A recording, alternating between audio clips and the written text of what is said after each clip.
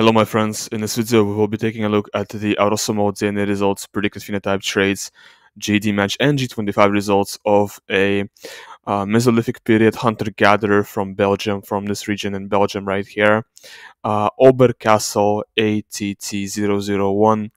Uh, it is a female, so it does not have Y DNA. There is no Y lineage we can discuss for this sample, but there is a mitochondrial lineage for this sample, and the mitochondrial lineage for this individual is U5A2. Uh, very typical mitochondrial lineage for various Europeans. Uh, let's jump straight into the um, G25 breakdown for this sample, modeling this sample as a mixture of Western hunter-gatherers, ancient North Eurasians, and Pinarbasi hunter-gatherers from Anatolia, so a mixture of Western hunter-gatherers, ancient North Eurasians, and Anatolian hunter-gatherers. This sample pretty much shows up 100% Western hunter-gatherers, so there is no uh, foreign non-European admixture. It is 100% a Western hunter-gatherer sample.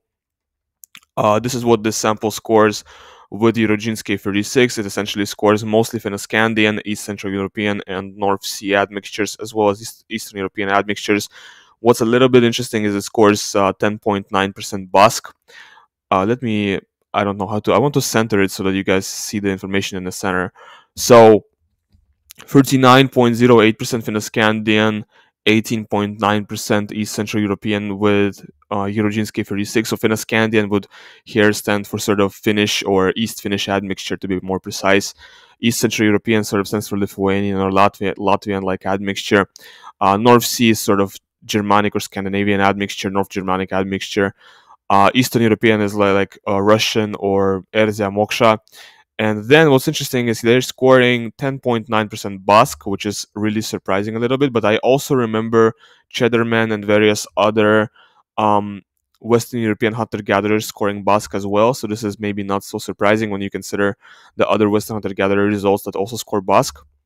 And then there is 4% North Atlantic, and then there is 2.3% French. So this is maybe not so surprising. And of course, the modern populations that this individual resembles most are Latvians, Lithuanians, various Baltic people. People who have the most admixture from European hunter-gatherers are going to be scoring closest to this European hunter-gatherer. This is no surprise to anybody. Um, all Europeans today are quite distant from this individual. This is because all Europeans today have quite a lot of southern Mediterranean um, European farmer and Caucasian hunter-gatherer admixture. But nonetheless, there are still a lot of Europeans in the Balt in the Baltic region. Uh, Baltic Baltic Europeans are still quite northern, and around half of their ancestry is still deriving from the European hunter-gatherers. So in the Baltics, still they're quite close. They're they're still relatively compared to like Spanish people or like Greeks, they are still quite close comparatively to these to the rest of Europe, they are still quite close to people like this, to this Oberkassel individual. So they are still going to be quite um, out of out of the rest of Europe. They are still closest to Oberkassel, people like this individual. Uh, with my trait predictor, we're going to look at the ethnic calculator results right now. And we see that the closest populations here are Finnish, followed by Slavic mercenary from Himera, followed by Kievan Rus, Kievan Rus, uh, Sungir 6, which is a um, Russian Russian sample from Kiev, Kievskaya Rus, followed by modern Russians, followed by Funnelbeakers from Ansarve, followed by British, Bell Beaker. So various Northern Europeans. It's interesting that um, Life from Lithuania doesn't show up closest here, but it's pretty typical result, uh, kind of what you would expect with 549 SNPs. This is what we ended up seeing for this individual. And the closest mixture is a mixture of Finnish plus Slavic Himera mercenary, uh, followed by Turkic Caspian steppe plus Bailuli from Lithuania, uh, followed by Slavic Himera Mercenary plus Bailuli from Lithuania, followed by Finnish plus Finnish, followed by Spiginas Corded Ware plus Bailuli Life from Lithuania. Very interesting models here. So all the models are basically European, Northern European plus Northern European. Definitely quite interesting to see that. Um, so I was talking about the modern Europeans who resemble this individual. No modern European really resembles this individual in a in a close way. All the modern Europeans who sort of resemble this person still don't really resemble him ethnically. Uh, the, the distance is still going to be very, very, very high. Um, the resemblance is still very like it's it's a very faint resemblance obviously like a Latvian or a Lithuanian, they might be the closest Europeans to Oberkassel or Cheddar Man, but they are still very, very distant ethnically from these people, um, from these Western hunter gatherers and whatnot. But nonetheless, they are the closest Europeans to these Western hunter gatherers and the rest of European hunter gatherers. There is no other European ethnicities aside from those in the Baltics that are closest to uh, European hunter gatherers. Is what I'm trying to the point I'm trying to make here. Let's look at Nash code calculator results. Let's see what phenotype this individual has, what uh, they look like. So it looks like they have blue eyes with an amber center ring. This is a very high percentage for blue eyes with an amber center, 56%. So we can pretty confidently say that they probably have blue eyes with an amber center ring. Uh, hazel eyes is pretty pretty large percentage here as well. Uh, green eyes pretty large percentage. Uh, blue eyes quite small percentage, but there's there's still a likelihood of blue eyes. For brown eyes and darkest brown eyes, very small likelihood. Probably doesn't have brown eyes or dark brown eyes. Uh, for hair color likelihood distribution, looks like they have. Actually, they could have uh, black hair, light brown, or dark blonde hair. Uh, dark brown hair is also sort of possible. Even light even light blonde hair is also sort of possible here at six percent. It, it is really quite possible, but red hair is sort of out of the picture. Probably does not have red hair. So really, they could have any hair color besides red, but most likely they have black or light brown or dark blonde hair. For skin color likelihood distribution, it looks like they most likely have olive or Mediterranean skin tone, but light brown is also sort of possible at 16%. Uh, white or palest skin is not really possible. Dark brown skin is also not very probable. It's only 1.6% likelihood, so most likely they have olive or Mediterranean skin tone at 80, almost 82%, actually 82%. And uh, light brown skin is second most likely at 16.4% likelihood. Uh, for hair texture, looks like they most likely have straight or wavy hair. Uh, curly hair is also possible at 19%, and kinky hair is not really probable at all. And for nose shape likelihood, they most likely have a Greek shaped nose at 76%. Uh, snub shaped nose is not very likely, not very likely at all, uh, at 24% likelihood. For coloring related variants found in the file, it looks like they have all the blue eye variants in HERC2. Uh, they also have blue haplotype 3 and blue haplotype 2 and blue haplotype 1. They also have all the blue eye variants in OCA2 as well. Definitely very interesting to see that. So I feel like if we look at the uh, OCA2 and HERC2 eye color calculator results, we're going to see very blue, very, very blue results there. They don't have any light color variants in this variation of SLC24A5, so definitely some predisposition to light pigmentation of skin. And this also contributed to the score for eyes and hair as well. They don't have any light color variants in, this, in these variations of SLC45A2, so also predisposition to dark color of eyes and hair and skin as well. But they do have two light color variants here in SLC45A2, which is very interesting. Uh, they've got, she's got one light color variant in this variation of IRF4, quite typical for European hunter-gatherers. And no light color variants in any of the MC1R variations, so no predisposition to being ginger. Let's check out the phenotype oracles. Actually, let's check out the OCA2 and HERC2 eye, cal eye color calculator results first. So this takes into account only the genotypes in OCA2 and HERC2 to calculate eye color. And here she definitely has blue eyes. And likelihood of brown eyes actually 0.08% and dark brown eyes 0.00%. So definitely has very blue eyes if you take into account only the genotypes in OCA2 and HERC2 region. Uh, let's look at the phenotype oracle right now and see what phenotypes she resembles most. So it looks like for the phenotype oracle, the closest phenotype to her is this, which is Alpinid. Kind of an uh, Alpinid Central European phenotype, followed by this, which is um, like a Russian phenotype. It's called North Pointed, but I don't really consider it like um, I don't know. I don't consider it uh, north pointed. I can't really call it north pointed. It doesn't look Mediterranean to me whatsoever. It looks like a very northern, northern looking phenotype to me. Followed by this, which is a corded phenotype. Actually, to me, like uh, just from a purely aesthetic point of view, uh, this phenotype right here on the top, um, the one I'm pointing to right now, looks a lot more northern than this corded, quote unquote, corded phenotype on the bottom. And for the mixture of phenotypes, um, for the Oracle, looks like the closest mixture is a mixture of 50% NIS uh, Basque or Southwest European phenotype plus 50% NIS Nordic. Uh, second closest mixture is a mixture of this uh, stranded with green eyes plus 50% Nordic. Uh, third closest mixture is a mixture of stranded with green eyes plus 50% corded. Uh, fourth closest mixture is a mixture of Basque with, I think, slightly lighter pigmentation. Of is it is it slightly lighter pigmentation? No, not really.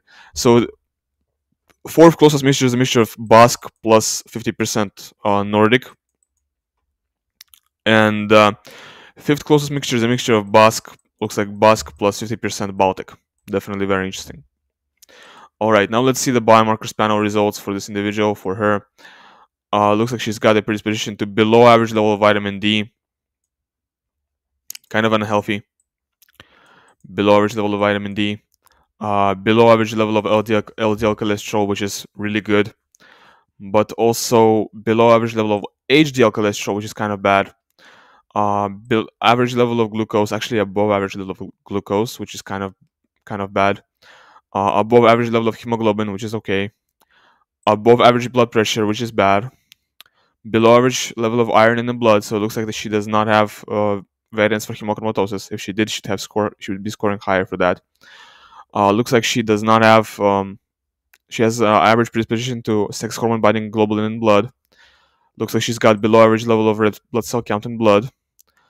Uh, average, slightly below average number of uh, base pairs for the telomere length, which is pretty pretty typical and definitely above average for height. Above average predisposition predisposition for height which is very interesting. So this above average predisposition for height for a um, it's definitely very interesting to see that above average predisposition for height. Uh, i'm not sure what the height of skeletons for these oberkassel skeletons was but I know that uh, apparently Yamnaya skeletons were much taller than the typical skeletons for like farmers in Europe. All right, let's see the polygenic risk scores for her and her conditions. She was predispositions to various conditions. Looks like she's got above average odds for kidney stones, above average odds for hemoglobin E disease, risk variance here. Uh, you can look that up if you want to. Uh, you can pause the video and just look it up if you're like really curious about that. Uh, below average odds for migraine, average odds for lupus, above average odds for gout, below average odds for thyroid cancer, um, for eczema,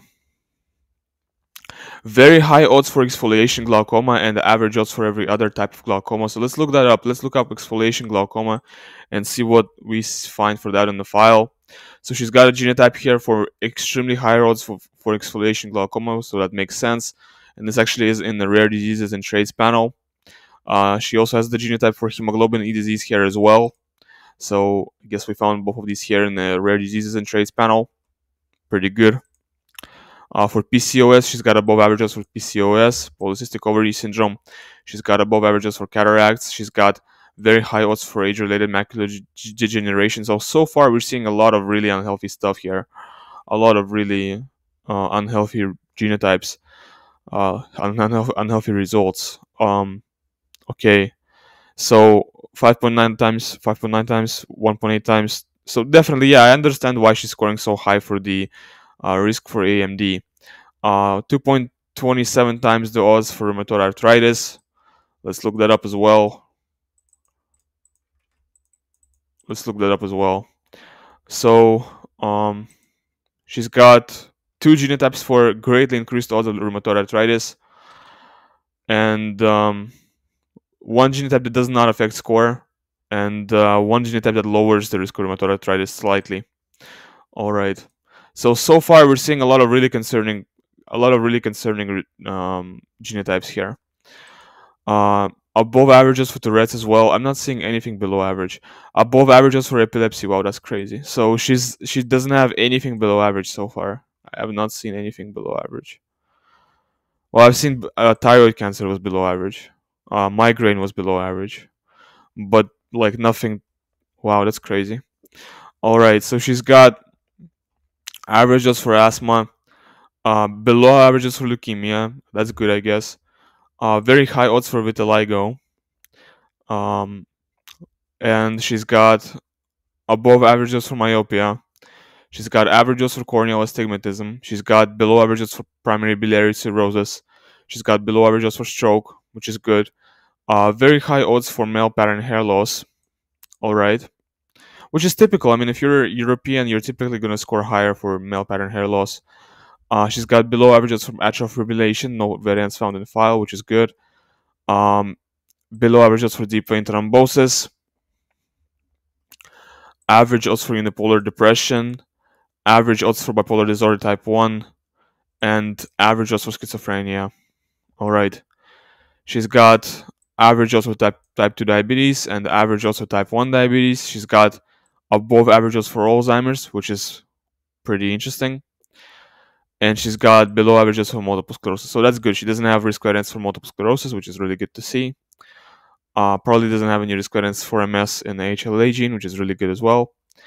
Uh, for the cancer section, no risk variants for breast cancer in the important variants. I, I marked the important variants with important before them so she doesn't score those, which is really good. Um, for testicular cancer, she's only got two risk variants for testicular cancer out of 18, which is really good to see. Uh, no risk variants in KITL G, which is really good once again. Really, really good stuff. So she definitely is a little bit protected from testicular cancer.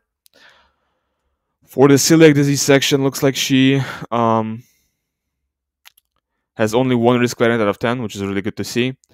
For GSS, no risk variants found in the file. For Crohn's disease, five risk variants. None of them are marked as important. Uh, for everything else, looks like, looks like she does not have any uncommon risk variants. I'm not seeing any uncommon risk variants. Everything here is common. Nope, she has one uncommon risk variance for familiar to aortic, aortic aneurysm here, which is this one. So she does have one uncommon risk variant, but aside from that, no uncommon risk variants. All right pretty typical stuff. Uh, let's go over the rare diseases and traits panel. Looks like she does not have. Um, let's see. She has this genotype leads to 20 times increased risk of ankylosing spondylitis, so some predisposition to that. Um, not a carrier for Sanfilippo.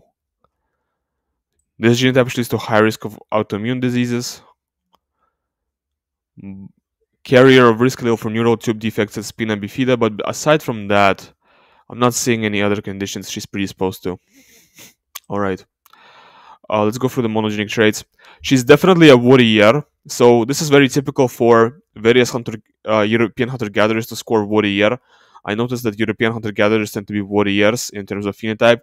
Uh, so this takes into account the genotypes in COMT, MAOA, and MAOB.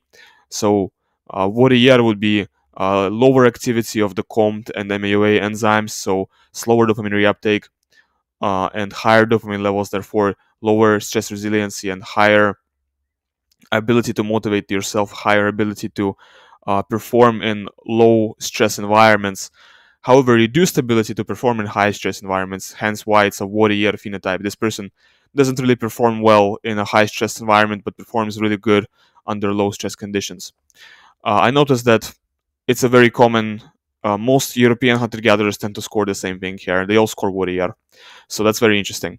Uh, for dopamine D2, this individual scores um, predisposition to intermediate number of dopamine D2 receptor sites in the brain, intermediate D2 receptors.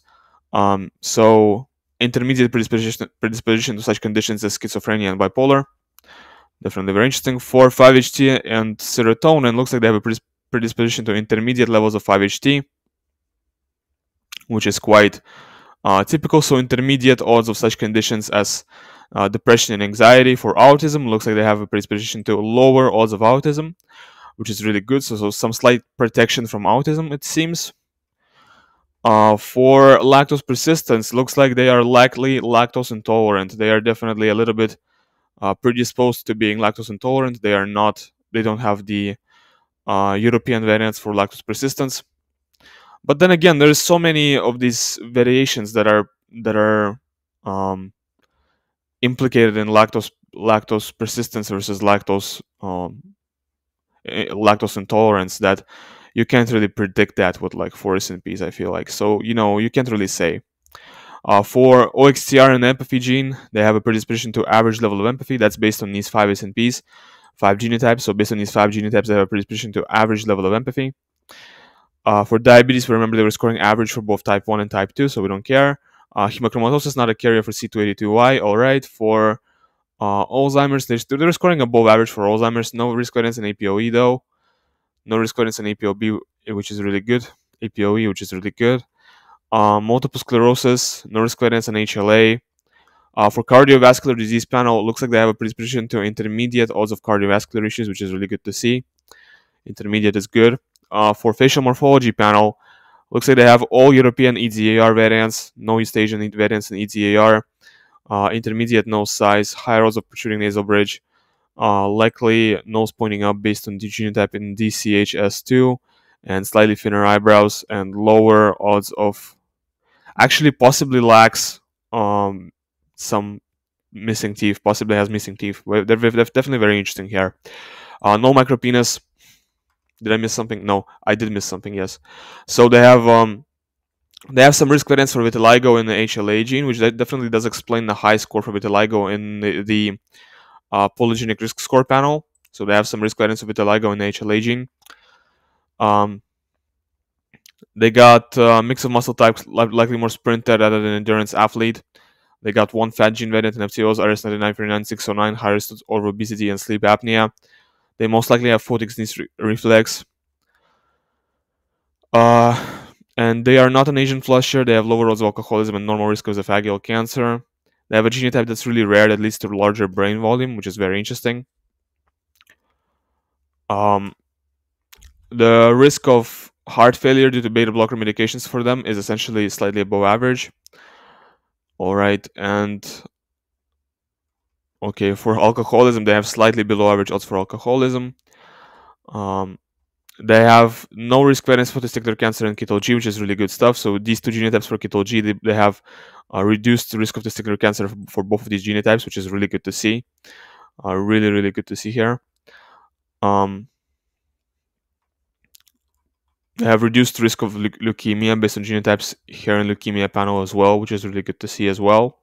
Uh, for MTHFR panel, they have a genotype here which is really healthy, which leads to normal homocysteine levels, but here they have a genotype that leads to impaired folate metabolism. So I feel like they might have a little bit predisposition to higher higher homocysteine levels on the homocysteine on the homocysteine panel because of this genotype, but we'll find out. Uh, we will find out. Uh, for celiac disease panel, no variants for celiac disease in the HLA, no risk variants in the HLA gene panel. Uh, for okay for HIV and AIDS panel. Notice no protective variants from HIV, which is really unfortunate, but also no no risk variants for that. All right, for the HLA gene panel, looks like they have predisposition to lower odds of autoimmune disease. So it looks like the risk variants for HLA in the uh, HLA variants that are implicated in um, vitiligo were not were not enough to score intermediate or highest, they still score lower odds of autoimmune disease, which is really good to see. So it looks like they still score lower odds of autoimmune disease for the HLA gene panel. Really good to see that. Uh, MTHFR gene panel looks like they have they actually have some genotypes, some risk variants for disorders of intracellular collagen metabolism, which is really unfortunate. One here and one here. So that's two risk variants out of six, which is kind of high. Um, but then again, it's not a very high high coverage file, so the, it could be way higher.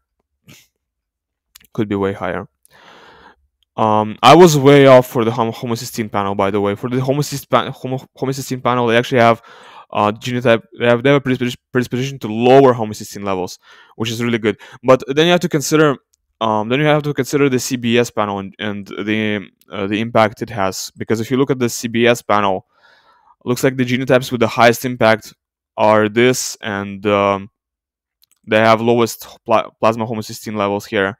So that contributed the most to the score, and they also don't have any variants for homocystinuria in the file, so that contributed the most to the score. And because of that, they're scoring lower for the homocysteine levels in this panel. So that makes sense.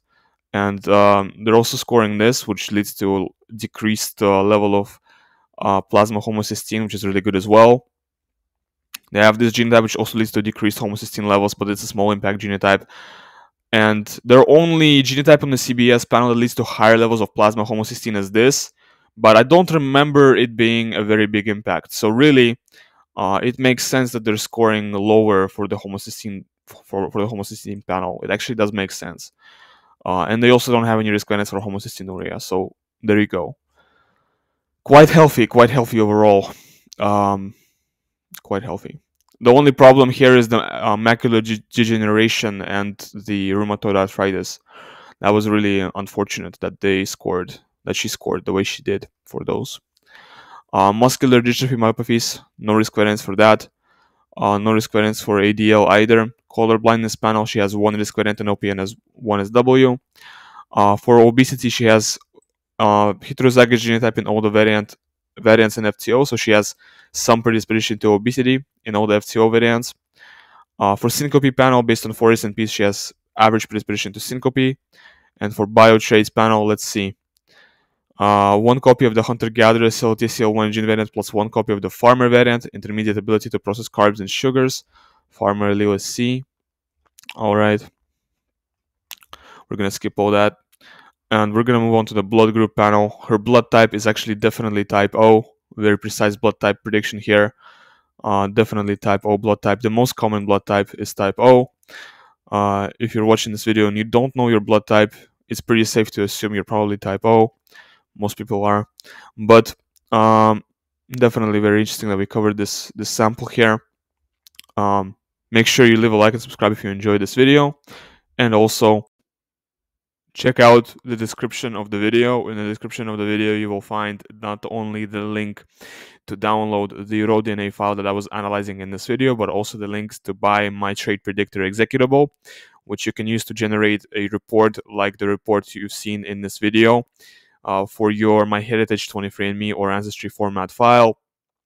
But also, you can find uh, the links to purchase a report for $4 with my trait predictor or $7 for two files also with my trait predictor. The link to purchase these reports will also be in the description of the video. All that will be in the description, so make sure you watch the video and read the description afterwards. Thanks for watching. Uh, I will also remind you to leave a like and subscribe if you enjoyed, and um, you know, make sure you write a comment, do something, you know, interact somehow. Thanks for watching. Goodbye.